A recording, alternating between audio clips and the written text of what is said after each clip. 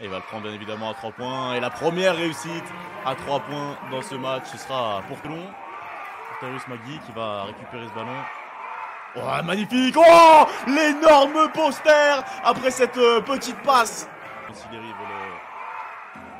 C'est leur victoire alors qu'on revoit les de la combe. Il demande l'écran d'Anakim de la combe. Il envie de servir. Il va l'envoyer au alley hoop. C'est bien fait. Finition tranquille pour Danakin. Avec Winton Hooker. 3 secondes, il va falloir shooter. L'extra passe vers Paul Lacombe au buzzer peut-être. Paul Lacombe qui met dedans.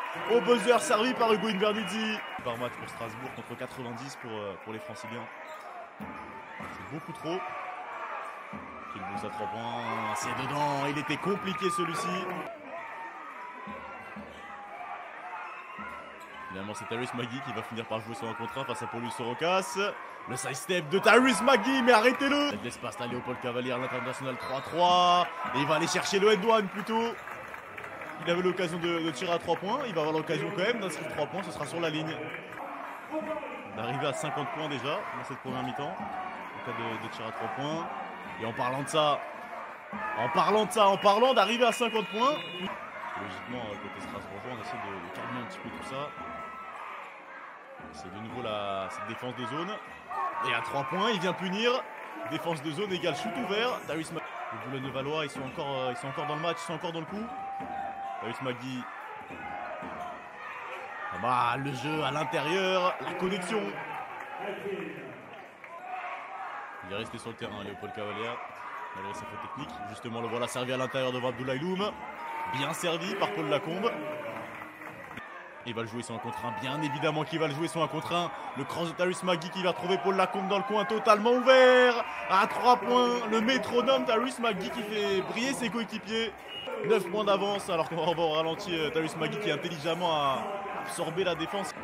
Regardez, et oui, Paul Lacombe qui encore une fois se retrouve ouvert.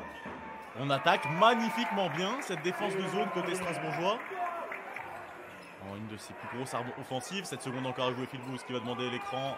Il va pas le prendre finalement la prise à deux. L'excellente prise à deux. On va quand même retrouver Hugo Invernizzi à 3 points. Et c'est dedans au buzzer pour Hugo Invernizzi, bien servi par Phil Pour les franciliens, à l'image notamment de, de Mathieu Gauzin, 0 sur 4 à 3 points.